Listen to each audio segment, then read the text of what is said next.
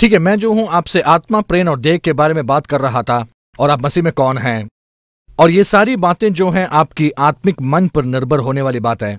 शरीर पर आधारित बात नहीं है। अगर आप अपने आप को सिर्फ़ शारीरिक तौर से जानते हैं तो फिर आप अपने जीन के आधार पर आधारित हैं। आपकी जो डीएनए पर आधारित है। आप अपने परवरिश की अनुभव पर निर्धारित रहते हैं। लेकिन अगर आप समझ लें कि आत्मा में आप नए व्यक्ति हैं और ये इस बात को भी समझ लें कि आप प्रभु यीशु मसीह में कौन हैं तो फिर आप अपने शारीरिक कार्यों में उसको दिखा सकते हैं और फिर आप अपने व्यक्तित्व को बदल सकते हैं, अपने स्वभाव को बदल सकते हैं। इसलिए ये जो बात है बहुत ही महत्वपूर्ण है कि आप जो है आत्मिक व्यक्तित्व बने। मैं आपको आत्मा की बातों के बारे में कुछ कहना चाहता हूँ जो है इब्रानियों ग्यारह पर आधारित, आप उसको देखें। और इसको समझाने के पीछे की उद्देश्य सिर्फ़ इतना है कि मैं आपको समझाऊं कि आत्मिक माहौल क्या है और आपको उस स्तर पर पहुंचाऊं जहाँ आत्मिक तौर से सोचें और शारीरिक तौर से नहीं। इब्रानियों ग्यारह की एक कहती है कि अब विश्वास आशा की हुई वस्तुओं का निश्चय और मन दे की वस्तुओं का जो है, उसका प्रमाण है। इस पर बहुत समय हम बिता सकते हैं। लेकिन यहाँ पर कहा गया है कि पंदे की वस्तुओं का वो एक प्रमाण है। ये नहीं कह रही कि उन चीज़ों की प्रमाण है जो होती नहीं है। इस विषय में बहुत सारे लोगों को परेशानी होती है। विश्वास को समझने में। वो सोचते हैं कि विश्वास जो है, उन चीज़ों पर विश्वास करना है जो नहीं है। जो वस्तु है ही नहीं, और वो जो है विश्वास नहीं है। जब मेरी परवरिश बपतिस कलिसिया में हुई तो मैंने ऐसे सुना है कि विश्वास जो है, ऐसा दिखावा है जैसे कि कुछ हो, जबकि कुछ है ही नहीं। और अगर करते रहें तो वह सच्ची में आएगा। इसलिए विश्वास ऐसा दिखाना है जबकि कुछ नहीं है, जैसे कि कुछ सच्ची में ही है।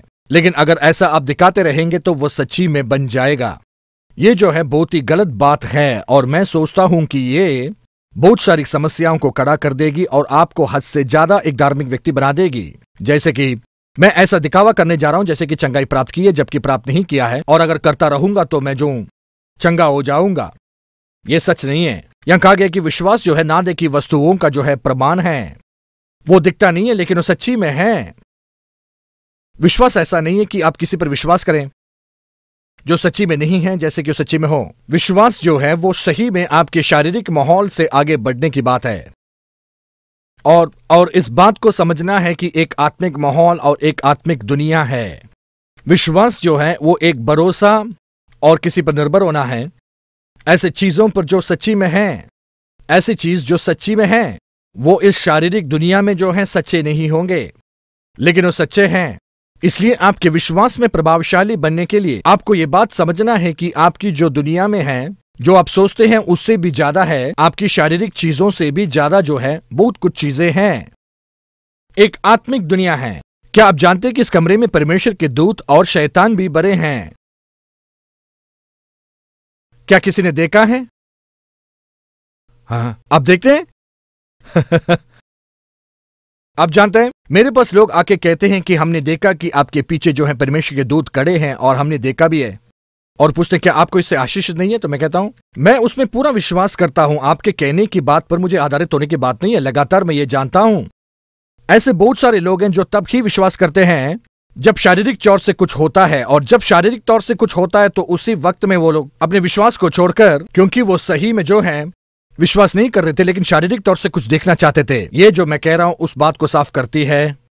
वो जो है, सिर्फ़ वचन को कबूल करते हैं और जब वो कुछ देखते हैं तो उसी वक्त को विश्वास को छोड़कर वो पूरी तरह से बदल जाते हैं। अगर आप सही से विश्वास को समझते हैं तो आप जो है, उस स्तर पर पहुँचेंगे, जहाँ पर विश्वास जो है, आपके सामने ऐसे बात बन जाती है, जब आप उसको सही से देख पाते हैं।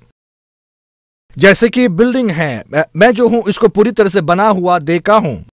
ये जो है, बनने से पहले, मैंने देखा प्रभु ने वायदा किया कि इस बिल्डिंग को मैं जो हूँ, बिना किसी कर्जा के बनाऊँगा, मैंने इस जगह पर सामान रखा।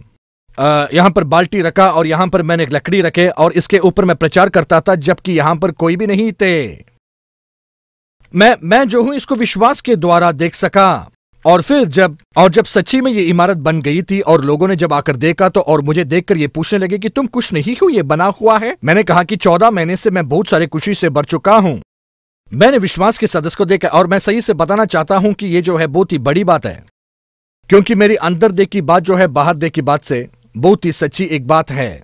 मैं ये नहीं कह रहा हूँ कि ये जो बात देखना महत्वपूर्ण नहीं है, क्योंकि मैं विश्वास करता हूँ कि अगर आप पूरी तरह से विश्वास करें तो ये जो है आप सही से देख सकते हैं। नहीं तो फिर आप सपनों की दुनिया में खो सकते हैं और आप कह सकते हैं कि मैंने विश्वास किया है, लेकिन ये सच्ची में नहीं है। ये जो बात है, दोनों बातों के मिश्रण है, लेकिन मैं उस स्तर पर पहुँचा हूँ जहाँ पर मैंने विश्वास को सही तौर से देखा है और इसका अनुभव किया है। बहुत सारे लोग इस बात को नहीं समझते हैं। मेरे हिसाब से विश्वास की जो बात होती है, उस बात की क्षमता है जहाँ पर अनदेखी को देखते हैं। और उन चीज़ों का एहसास है जिन चीज़ों के इंद्रियों से आप नहीं कर सकते हैं। ये कैसे कर सकते हैं?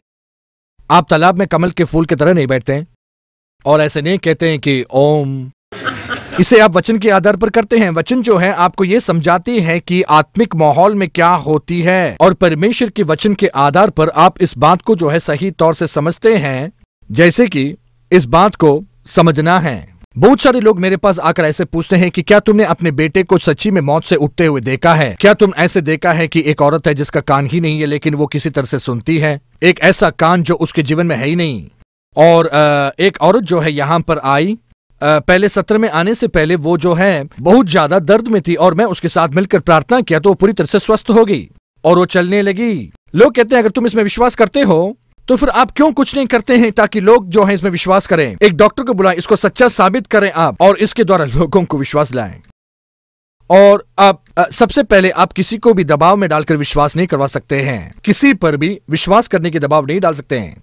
पहला पत्रुस तीन में कहा गया है कि इस बात को जानबूझकर वो इनकार करते हैं।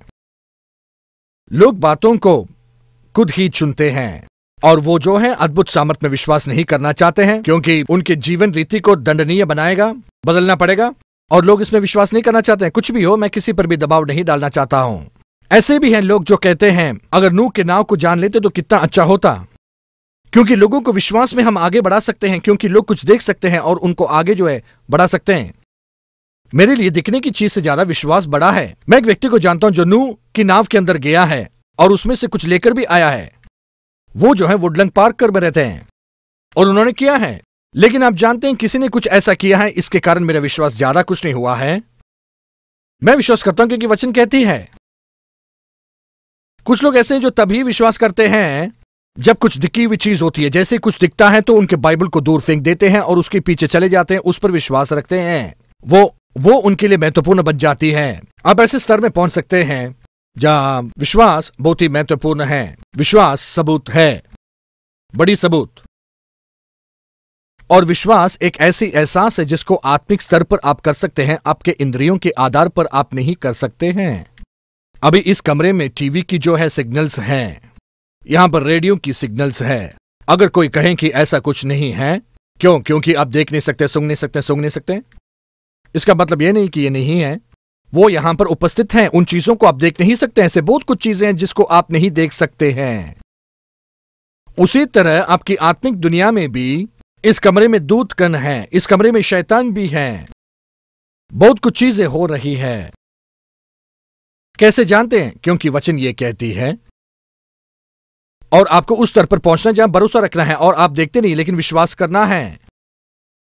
वही विश्वास है। आपको जो है, आपको जो है यह समझना कि एक आत्मिक दुनिया है, वो सिर्फ़ ऊपर ही नहीं है, लेकिन एक आत्मा है। आपके आंतरिक व्यक्तित्व में एक ऐसे आत्मिक व्यक्ति हैं जिसके साथ हमारी सही से रिश्ता कभी भी नहीं है। हम नहीं समझते कि हम आत्मा में कौन है, इसलिए मैं आप लोगों को पढ़ा रहा था गलातियों पाँच बाईस में से, जहाँ कहता है कि आप आत्मा में सही से कौन है। आत्मा में आप बहुत ही अद्भुत व्यक्ति हैं। जिस चीज़ के लिए आप प्रार्थना कर रहे हैं, वो आपकी आत्मा में है। आपको मिल चुका है। आप प्रार्थना करते हैं और कहते हैं प्रभु, मुझे चंगा करें, इसलिए क्योंकि आप नहीं जानते कि आपके अंदर वही सामत बड़ा हुआ है, जिस सामत के द्वारा प्रभु यीशु मसीह जी उठे लेकिन वो उस बात पर आधारित है कि हम कैसे प्रार्थना करते हैं प्रभु, मुझे चंगा करो, शांति दो, मुझे प्रेम से बर दो। मुझे शांति दो, प्रभु, मेरे जीवन को प्रेम से बर दो। लोग मेरे पास आके बोलते हैं कि प्रार्थना करो कि मुझे प्रभु अपने प्रेम से बर दे, और मैं कहता हूँ कि मैं नहीं करूँगा। और लोग कहते हैं, उसमें क्या गलती है? क्योंकि इस बात को आप नहीं मान रहे हैं कि पहले से वो किया हुआ है कि प्रभु ने आपको आनंद, प्रेम और शांति से भरा है। पहले से आपके जीवन में है ये। प्रभु को वापस इन चीज़ों को देने की ज़रूरत नहीं है। आपको प्रार्थना करना कि आपका उल्टा सर और आपकी गलत सोच हटकर आप इस बात को सही तौर से समझ जाएँ कि प्रभु ने आपको क्या क्या दिया है।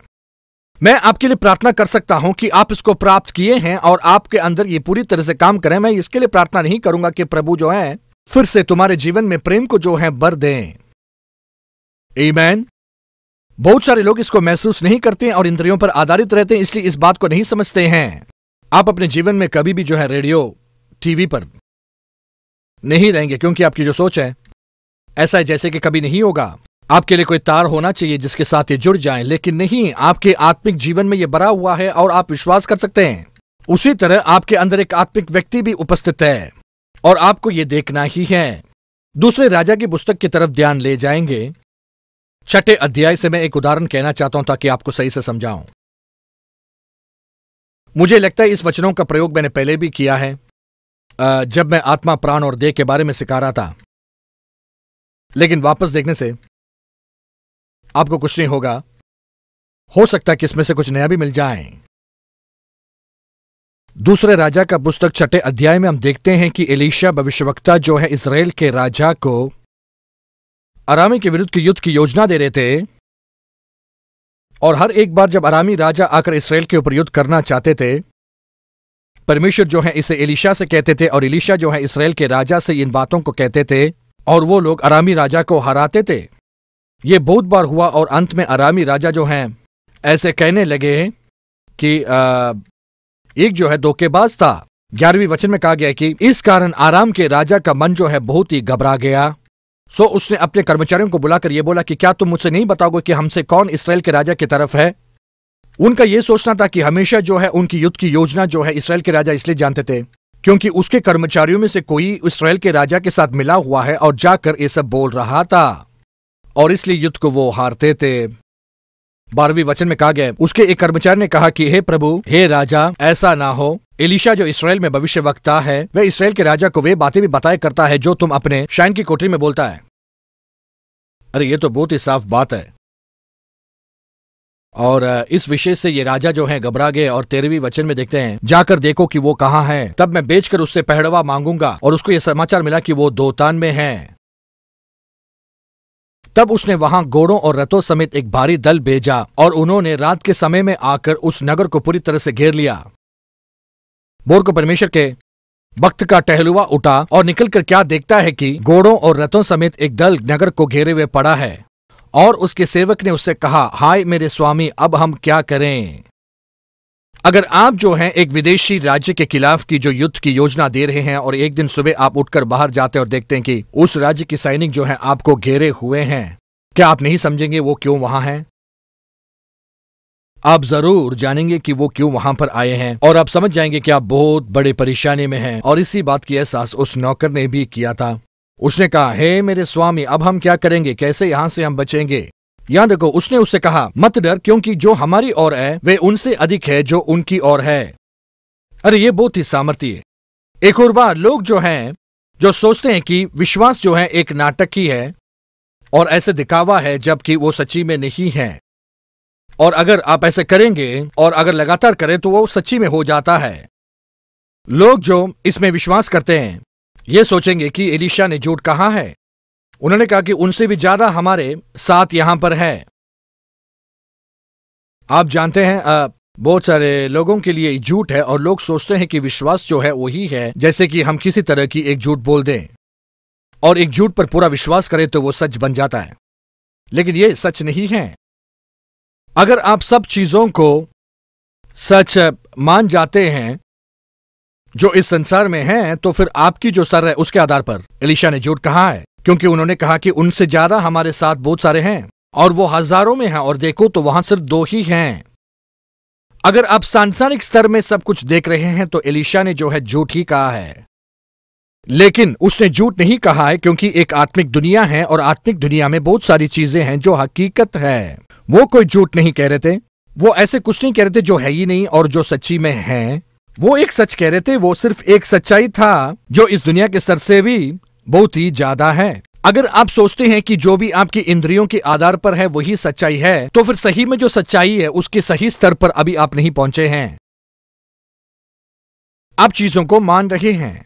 समय होता तो मैंने नियम में आपको दिखाता किस तरह से यीशु मसीह भूत को लोगों से बाहर किया और लोगों को स्वस्थ बनाया।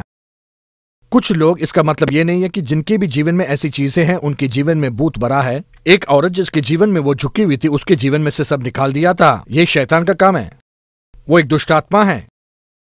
इसका मतलब इसका मतलब ये नहीं कि हर एक व्यक्ति भूत से भरे हुए थे। एक व्यक्ति जो सुन नहीं सकते थे उनको चंगा किया। वो एक दुष्टात्मा था। बहरा और गुंगे का एक आत्मा था। मैंने इंग्लैंड में एक बार एक व्यक्ति के लिए प्रार्थना किया जो बिल्कुल सुन नहीं सकते थे। एक कान नहीं सुनता था और मैंने उनके लिए प्रार्थना किया।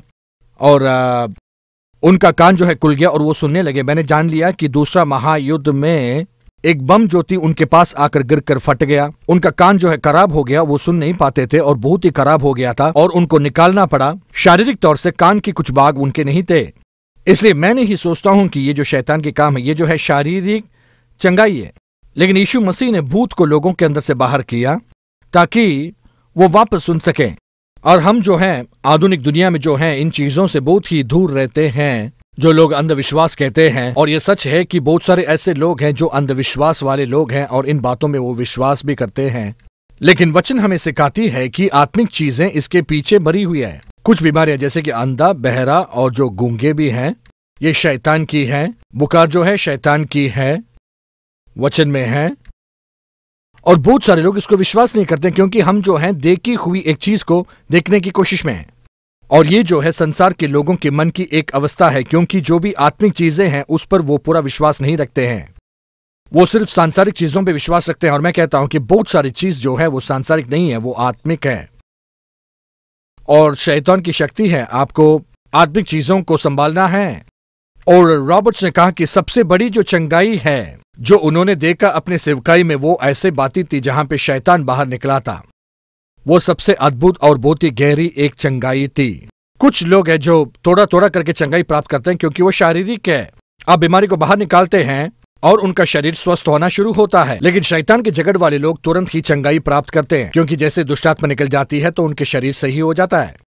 मैं जो हूँ, आपसे ये कहने की कोशिश में हूँ कि जो बहुत सारी आत्मिक चीज़ें हैं, लेकिन बहुत सारे लोग सही तौर से इसको नहीं देखते हैं। और इसलिए बहुत सारे लोग जब कहते हैं कि उसके कोड़े खाने से मैंने चंगाई प्राप्त किया है वो सोचते कि आप जैसे कहते वैसे ही है, लेकिन ऐसा नहीं है।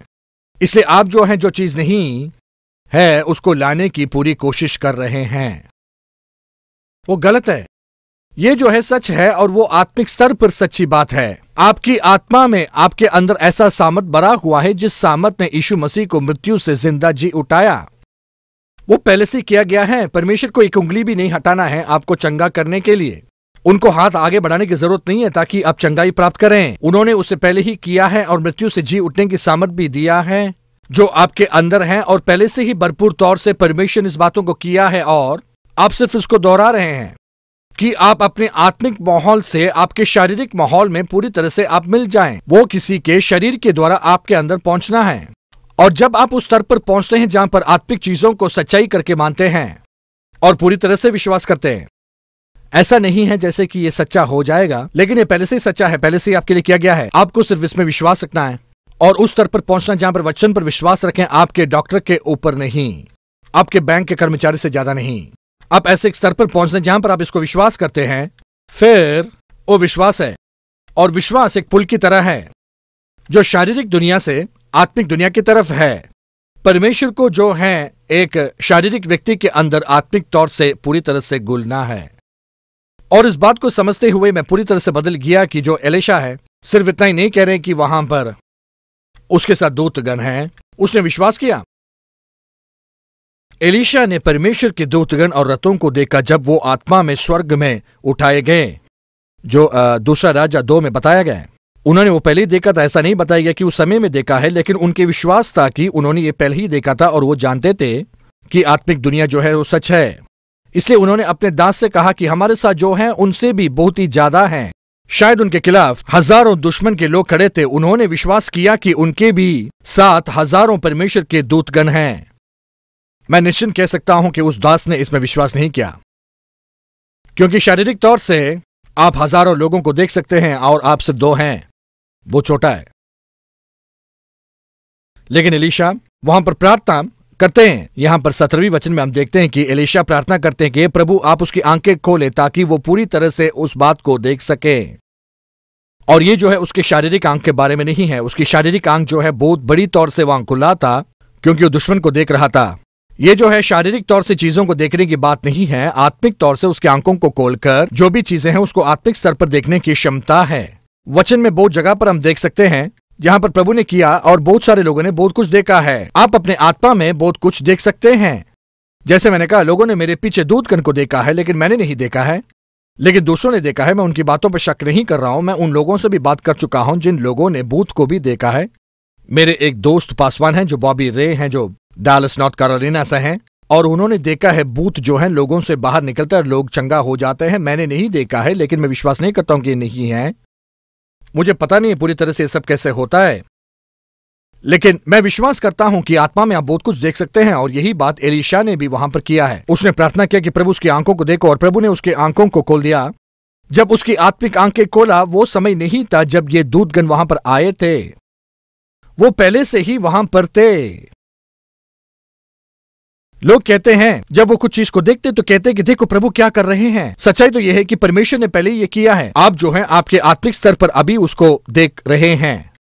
आपकी आँख खोलते वक्त परमेश्वर नहीं आते हैं, लेकिन वो पहले से ही वहाँ पर मौजूद हैं। प्रभु ने पहले ही आपको स्वस्थ किया है, आपको आशीष दिया है। प्रभु ने पहले ही सब कुछ किया है। आप शारीरिक तौर से शायद नहीं देखेंगे, लेकिन आत्मिक तौर से ये सही है। और विश्वास, उसमें भरोसा रखने की एक क्षमता है। इस बात को समझने की क्षमता है कि प्रभु ने पहले ये किया है। लेकिन आप जो हैं प्रभु के कहने से भी ज़्यादा जो है डॉक्टर जो कहते हैं, उस पर ध्यान देते हैं, आपके बैंकर पर ध्यान देते हैं, आपके दोस्त के बातों पर ध्यान देते हैं। और जो भी शारीरिक स्तर पर बातें हैं, उस पर विश्वास करते हैं। लेकिन आपको जो है उस बात पर विश्वास करना है कि जो परमेश्वर की वचन आपसे कहती है, उन अनदेखी बातों की जो प्रभु यीशु मसीह में है, अगर आप उस पर शारीरिक बातों से भी ज़्यादा पूरा विश्वास रखते हैं तो आप जानते हैं वो क्या है उसी को विश्वास कहते हैं, वो एक पुल की तरह बन जाती है आपकी आत्मिक स्तर से, आपके शारीरिक स्तर में सब आती है। कितना आसान है? इसलिए उसने प्रार्थना किया कि प्रभु उसकी आँखों को खोले, उसकी आँखें खुली और उसने देखा कि बहुत सारे घोड़े और रथ वहाँ पर खड़े हैं और यह पूरी तरह से हकीकत की बात थी। लोग आपको कहेंगे कि आप झूठ बोल रहे हैं, आप लोगों को उल्लू बना रहे हैं। मुझे जो है धोखेबाज, धोखा देने वाला, झूठ बोलने वाला प्रचारक बुलाए हैं कि आप कुछ बोलते हैं कि ऐसा होगा और आप कह रहे हैं, इसलिए यह सच्ची में होगा। मैं ऐसा कुछ नहीं कह रहा हूँ जो नहीं है और मेरे कहने पर हो रहा है। मैं सिर्फ़ आपको वही कह रहा हूँ जो पहले से ही आत्मिक स्तर पर मौजूद है। ये आत्मिक स्तर पर है। अगर प्रभु ने पहले से ही ये नहीं दिया है, अगर उन्होंने इसका वायदा नहीं किया है, अगर यीशु मसीह के द्वारा ये नहीं दिया गया है तो मैं कभी भी नहीं बना सकता हूँ। मैं प्रभु को कुछ करवा नहीं सकता हूँ। लेकिन मैं परमेश्वर के वचन के आधार पर जो दिया गया है, पहले से ही उसको ले सकता हूँ और मेरी जो विश्वास के द्वारा जो आत्मिक दुनिया में है, उसको मैं सच्चा बना सकता हूँ। उसको शारीरिक स्तर से साबित कर सकता हूँ। कितना सामर्थ्य है? मुझे पता नहीं कि आप समझ रहे कि नहीं। यह बहुत ही सामर्थ्य है और यही हम कर रहे हैं। एक बार अगर इसको समझ जाएँगे तो। मैं इसको सही तौर से कह नहीं पा रहा हूँ, लेकिन एक तरफ़ से आप जो हैं, चंगाई को साबित करते हैं। वो प्रभु नहीं है जो लोगों को चंगा करते हैं। प्रभु ने हम सबको चंगा किया है। सारे बीमारियों को पहले से ही चंगा किया है और सिर्फ़ एक लोगों के लिए नहीं, लेकिन सबके लिए पूरी तरह से किया गया है। प्रभु ने पहले से ही हमको चंगा किया है और उसी सामर्थ को हमारे अंदर रखा है जिसके द्वारा यीशु मसीह जी उठे। एफिसियो एक का उन्नीस। निर्णय आपको लेना है कि क्या आपको हाथ आगे बढ़ाकर जो दिया गया है उसको लेना है या फिर आपको शारीरिक तौर से उसको ना माने और पूरी तरह से उसको छोड़ देना है। मुझे समझ में नहीं आ रहा कि आपको यह समझ में आ रहा है कि नहीं। क्योंकि आप देख सकते हैं कि बहुत सारे लोग इसमें विश्वास नहीं करते कि पहले से ही सब कुछ है। उनका विश्वास नहीं है कि वो सामर्थ है। इसलिए बुरे हाल में प्रभु के पास वो आते हैं। प्रभु, हम कुछ नहीं कर सकते हैं, हम कुछ कर नहीं सकते, हम कुछ भी नहीं हैं। लेकिन हम विश्वास करते हैं कि आप सब कुछ हैं, सब कुछ कर सकते हैं। और प्रभु से चंगाई के लिए भीख मांगते हैं। और विश्वास के साथ उस बात को पाने के लिए कोशिश नहीं करते कि प्रभु का वचन का है कि पहले से आपने चंगाई प्राप्त किया है। आपको सिर्फ़ उसमें विश्वास करना है और स्वस्थ होना है। आप जो है प्रभु के सामर्थ को आपके जीवन में प्राप्त कर सकते पहले से दिया है। और आपको जो है आत्मिक स्तर से उसको शारीरिक स्तर पे लाना है और ये एक व्यक्ति के द्वारा ही आपके अंदर आ सकता है। और आप जो है एक व्यक्तित्व है, आपको सिर्फ़ वचन में देखना है कि प्रभु ने क्या कहा है और उसमें विश्वास करना है। आपके खुद के सामत में नहीं, उसकी सामत में। वो आपके अंदर है। इफिसियो तीन के बीस में कहा गया है, जो ऐसा सामर्थ्य है कि हमारी बिनती और समझ से कई अधिक काम कर सकता है, जो हम सोच भी नहीं सकते हैं। बहुत सारे लोग वहाँ पर रुक जाते हैं, पूरी तरह रुक जाते हैं। लेकिन कहा गया कि उस सामर्थ के अनुसार जो हमें बड़ा हुआ है।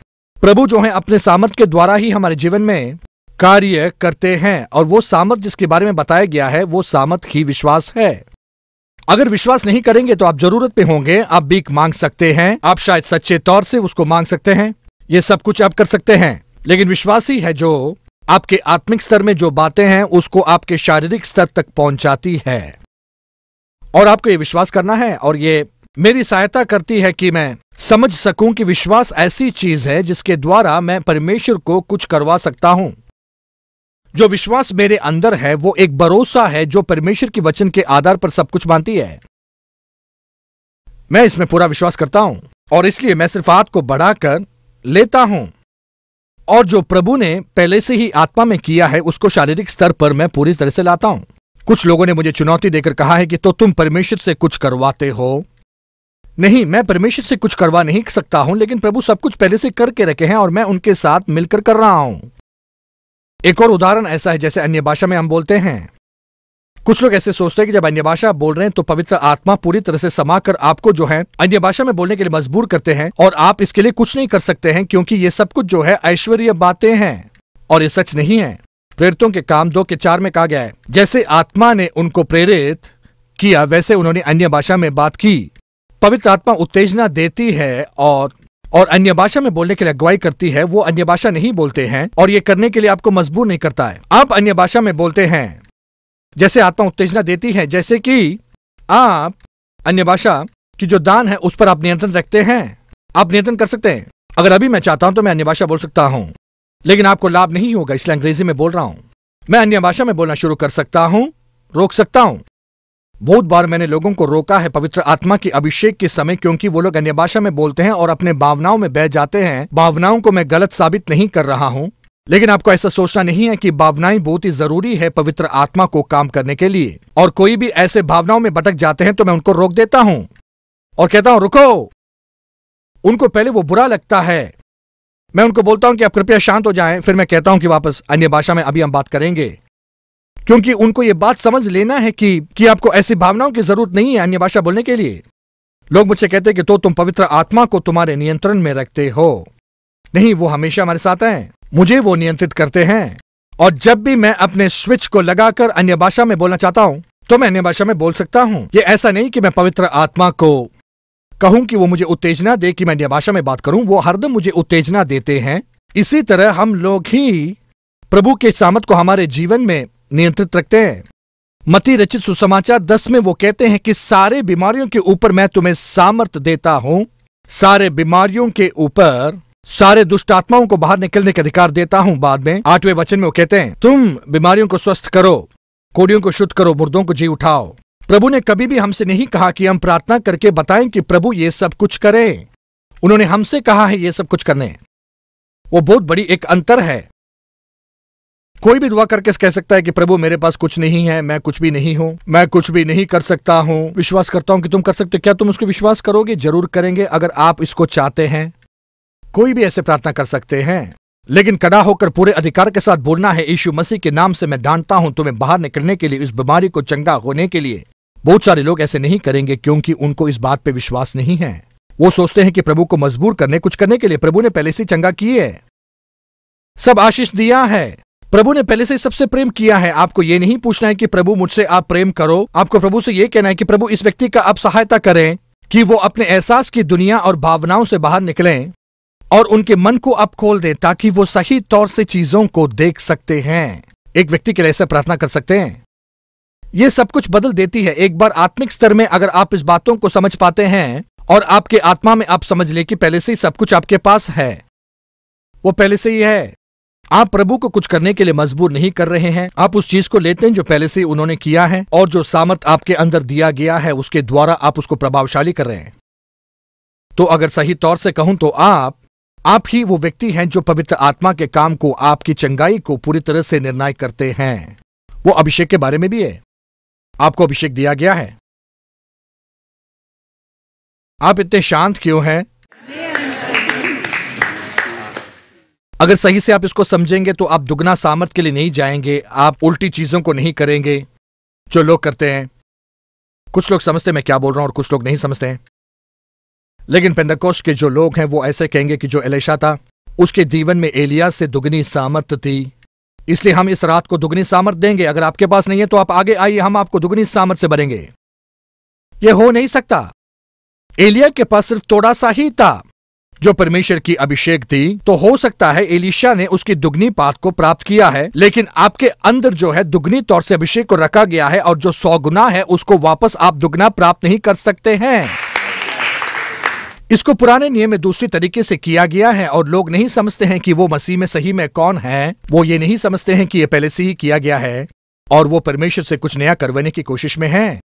लोग प्रार्थना करके और विश्वास के लिए मांगते हैं। मैंने पिछले मंगलवार आपको कहा, आपके अंदर प्रभु यीशु मसीह का विश्वास रखा गया है। आपको और विश्वास नहीं चाहिए, लेकिन उसको सही से सीखना है। और जो मिला है, उसका सही से उपयोग करना है। लोग प्रार्थना करते प्रभु, मुझे आनंद दो और मेरे अंदर की ये दबाव को बाहर निकालो। प्रभु ने कोई दबाव आपको नहीं दिया है।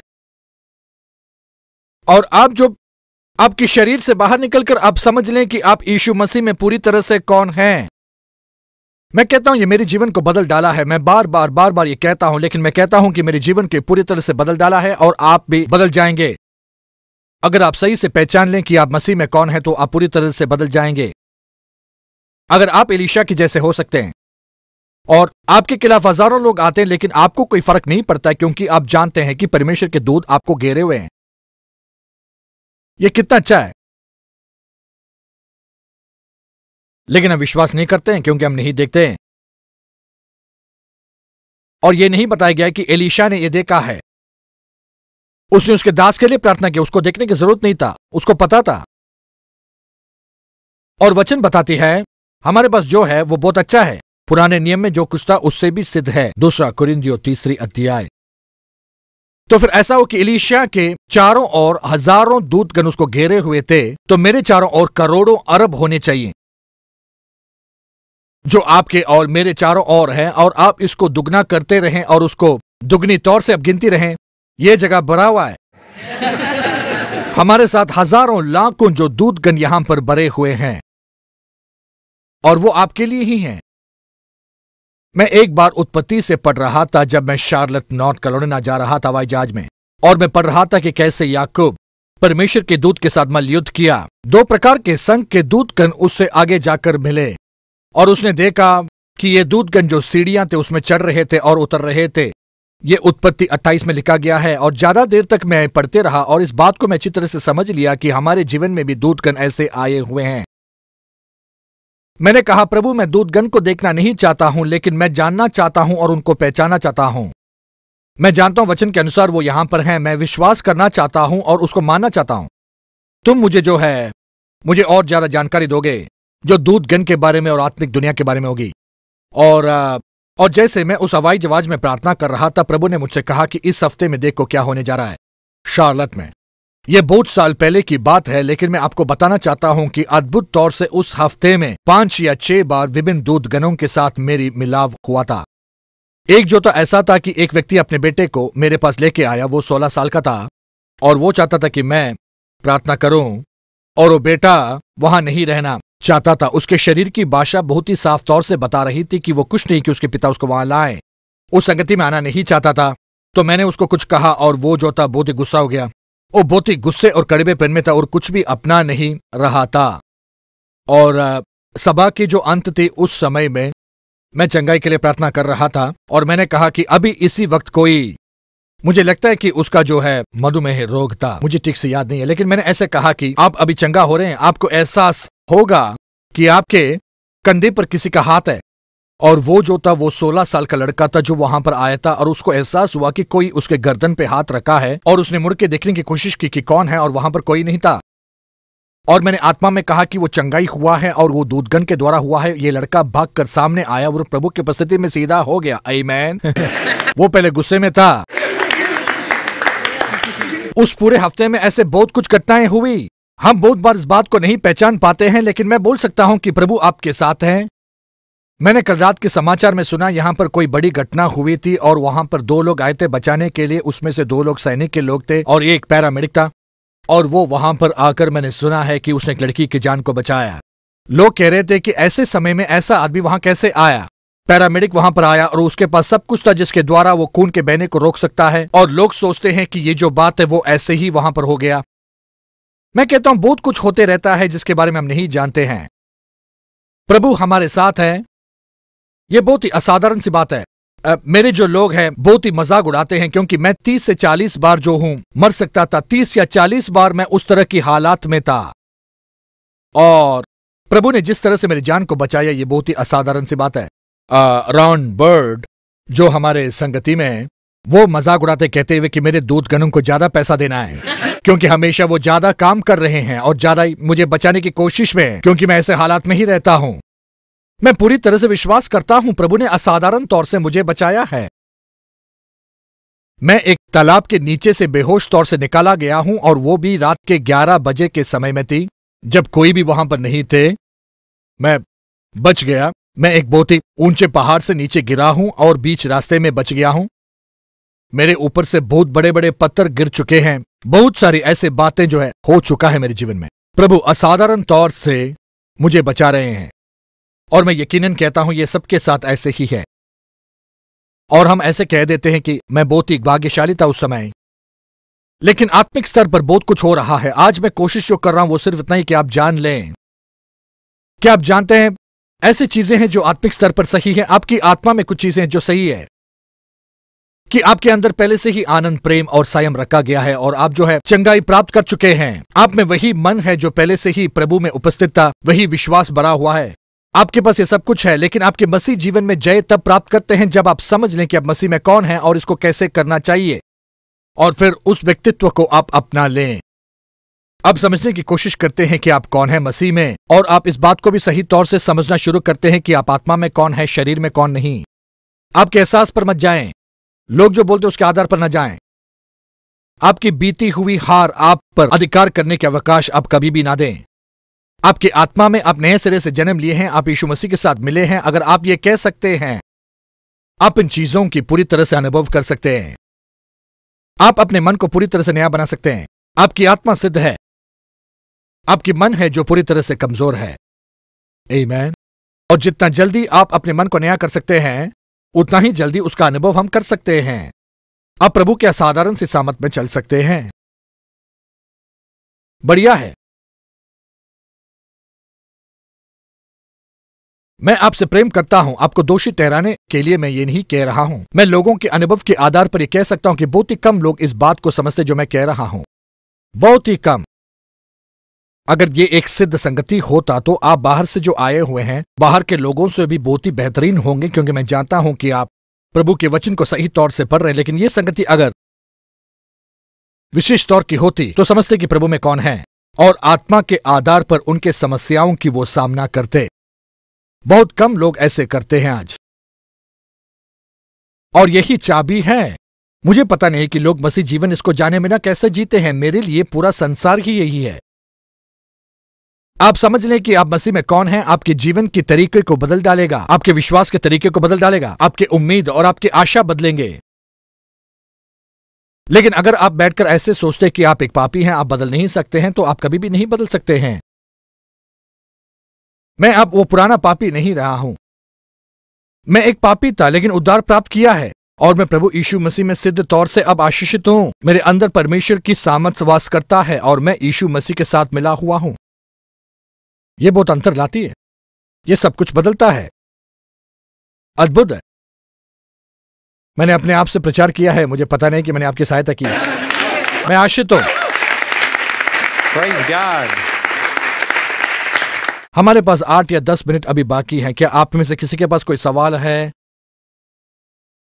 हाँ मैं एक गवाही कहना चाहता हूँ कि जब आप यहाँ पर प्रचार कर रहे थे तो कोई यहाँ पर है जिनका आँख जो है वो पूरी तरह से ठीक हो गया है।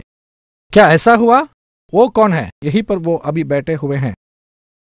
क्या हुआ आपको? आ, मेरा जो आँख था उसमें बहुत परेशानी होती थी। मैं कभी कभी ठीक तौर से देख भी नहीं पाता था लेकिन आज जब आप प्रचार कर रहे थे और चंगाइयों के बारे में बोल रहे थे मैंने विश्वास किया और पूरी तरह से जो है मेरी आँख है ठीक हो गई है। कितनी बढ़िया बात है।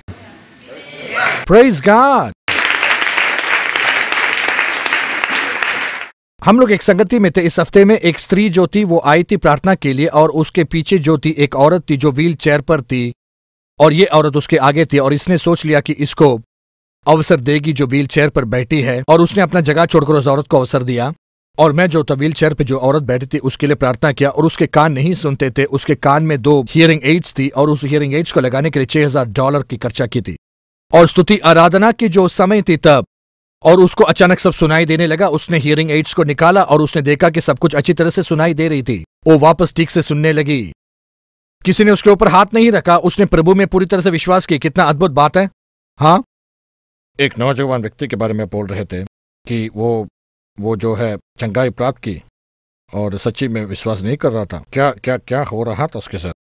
किसके बारे में बोल रहे हो तुम? वही लड़का जिसके बारे में आप बोल रहे थे जिसके गर्दन पे उसका एहसास हुआ कि कोई छू रहा था। ओ ठीक है। मुझे लगा किसी और के बारे में बोल रहे हो।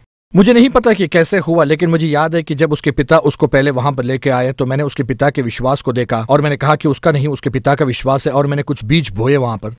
और मैंने क्या कि तुम जानते कि तुम, तुम्हें ये चंगाई के लिए प्रार्थना करना, मैंने उसके लिए प्रार्थना नहीं किया। क्योंकि मैंने कहा कि तुम्हें ये ज़रूरी नहीं है, तुम इसके लिए नहीं चाहते हो, तुम्हारे पिताजी ये चाहते हैं। इसलिए मैंने उससे कहा कि तुम जो है वापस जाकर तुम वचन को सुनो। और प्रभु तुमको स्वस्थ करना चाहते हैं तुम्हें वो अपनाना है। इसलिए मैंने सिर्फ़ कुछ बीज बोए जिसके द्वारा उसको वो फलदायक कर सकता है ताकि वो चंगा हो। और कोई है? हाँ। क्या आपकी सेवकाई में आपने किसी को मौत से ज़िंदा उठते देखा है? कौन सा बताओ? पहला वाला बताओ। कोई भी एक बताइए। सबसे पहले किसी को मरे हुए अवस्था से जी उठते हुए मैंने पिटी कॉलोराडो में देखा है। और वो जो थे एक थानेदार थे और उनका एक बीमारी था और मुझे मुझे याद नहीं है क्या क्या था लेकिन बहुत सारी बीमारी थी और उनके दिल में भी कोई बीमारी था। आ, और उसका बेटा मेरा एक अच्छा दोस्त था और मैं उसके साथ जाकर उसके पिता के लिए प्रार्थना करना शुरू किया और सबसे पहली समस्या थी वो देख नहीं पाते थे। वो एक अंधे के जैसे थे मैंने प्रार्थना किया और उनसे पूछा कि क्या आप उस चित्र को देख सकते हैं? तो उन्होंने मुझसे कहा कि मैं हल्के तौर से देख रहा हूँ। और उसके बाद हर एक दिन मैं जाता था और उनके लिए मैं प्रार्थना करते रहा। वो ठीक से देखने लगे और चल फिरने लगे क्योंकि वो व्हीलचेयर पे बैठते थे लेकिन अभी वो ठीक से चलना शुरू किए। उनका दर्द जो था वो कम हो रहा था। और मैंने ये प्रार्थना जो एक महीने किया और वो एक एक दिन एक एक दिन एक एक दिन एक एक दिन प्रार्थना के बाद वो और भी सामर्थ्य हो रहे थे। और एक दिन मैं एक संगति के लिए तैयार हो रहा था। मैंने गिटार को लटका रखा था और संगति की आरंभ हुई थी। मैं अगुवाई कर रहा था और मैंने देखा उसके बेटा आकर मुझे बुलाया। और मैं बाहर गया तो उसने मुझे खींच कर गाड़ी में डालकर वो सीधा घर ले गया मुझे। आ, उसके घर कि और जब हम जा रहे थे, उसने कुछ नहीं बताया, लेकिन मुझे लग रहा था कि उसके पिताजी को उनकी बीमारियों के कारण बहुत कुछ तकलीफ़ हो रही है। उनकी जो है, बीमारी जो है, कुछ ज़्यादा ही हो गया है। और जब गाड़ी चलाकर हम वहाँ जाके पहुँचे मैंने देखा कि पुलिस की गाड़ी वहाँ थी, और इस पुलिस वाले को पता नहीं था कि क्या करना था, क्योंकि 144 लोगों की एक छोटी सी शहर थी। वो वहाँ पर गिड़गिड़ा रहा था, वो घबरा कर खड़ा हुआ था, वो गाड़ी से जो है सामान को निकाल रहा था। और मैंने वहाँ पर देखा कि दूसरे एक थानेदार जो है कुछ चीज़ों को लेकर वहाँ पर कुछ कर रहे हैं। और ये जो आदमी था, वो एक कुर्सी पर जो था, वो लेटा हुआ था। उसकी पत्नी जो थी, रो रही थी, कह रही थी, हे यीशु मसीह, कृपया एडवर्ड को वापस ज़िंदा करो। और जब ये बात उस स्त्री ने कहा, तभी मैंने जाना कि ये मरा हुआ है। मुझे नहीं पता था कि क्या हुआ था। अगर मैं पहले जानता तो अगर उसके बेटे मुझसे पहले ही बोलते थे कि क्या वहाँ पर गलती है, मेरी कलिसिया से दो मिनट ही लगती है उनके घर जाने के लिए, लेकिन उस बीच में हो सकता है अविश्वास मेरे अंदर आ जाता। लेकिन वो वो ऐसा नहीं हुआ। मैं जब वहाँ गया मुझे लगा मैं उसकी बीमारी के लिए प्रार्थना करने जा रहा हूँ। या फिर कुछ और बात होगा। और जब मैं वहाँ पहुँचा उसकी पत्नी रो रही थी। हे प्रभु एडवर्ड को वापस दो। और मैंने उससे कहा कि एडवर्ड तुम ज़िंदा हो यीशु मसीह के नाम से तुम उठकर बैठो। और वो उसका आँख खोलकर उठकर बैठ गया। मैंने और कुछ नहीं किया। अगर उससे ज़्यादा मैं कुछ करने की कोशिश करता शायद ऐसा कुछ नहीं होता।